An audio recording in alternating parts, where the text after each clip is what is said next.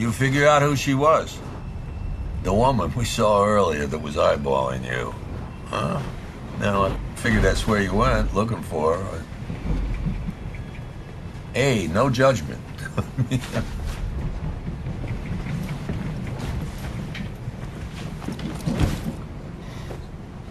Mind if I borrow the sports section? no, yeah, sure. Yeah. Thanks. Yanks are playing the Sox. Uh-huh. Five wins to clinch. I'm feeling very confident.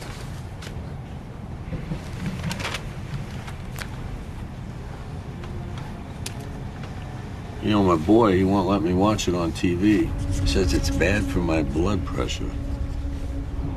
As if the Yanks winning would give me a heart attack or something. Don't know why the kid is so worried. kid spends more time watching me than he does at work. Yeah, and that is what I get for teaching a kid to do the right thing.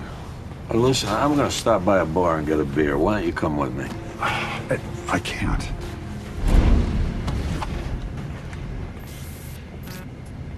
I gotta make a call. Now arriving 125th Street Station, folks. I'll see you on the next go round.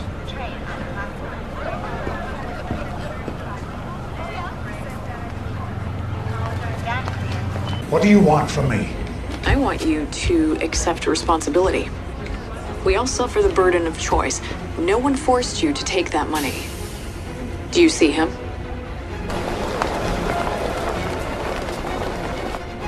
We can't have your friends talking to the police.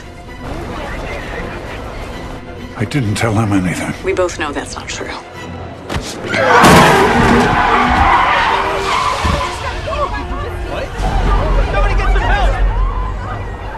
Oh my god. What have you done? You did this. You made your choice.